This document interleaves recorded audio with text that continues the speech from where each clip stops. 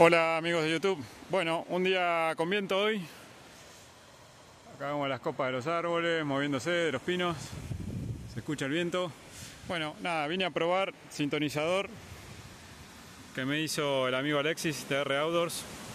Básicamente es como un buje que se mete acá por afuera del enchaquetado del Pantera, entre el silenciador y el enchaquetado. Y este arito que se mueve, o lo dejaba donde estaba, tiene una rosca acá y bueno, con eso sintonizamos armónicos, la verdad que anda muy bien.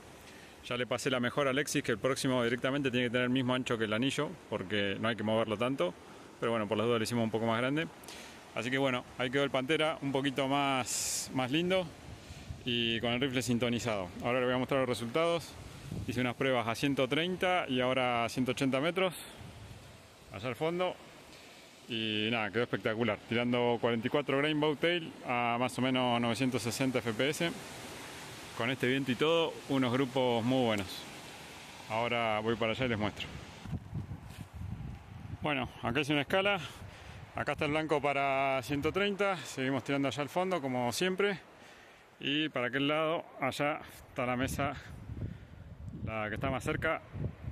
Esa que está ahí más cerca es la de 165 y el pallet que nos alcanza a ver acá al fondo, allá entre el, entre el bosque, es el 180.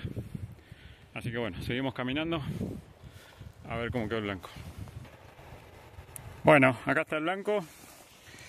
Eh, esto fue a 130, que ahí está vemos una tapita de coca.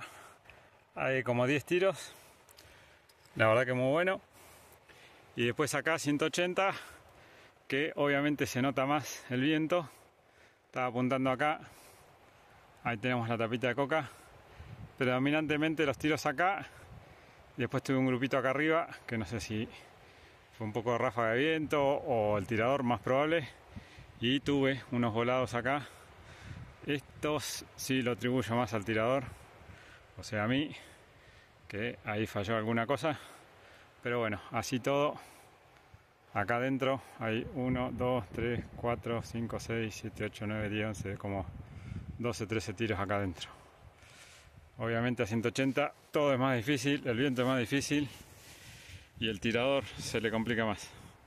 Pero bueno, la verdad que la sintonía anduvo bárbaro, gracias Alexis. Los resultados más que satisfactorios con el sintonizador.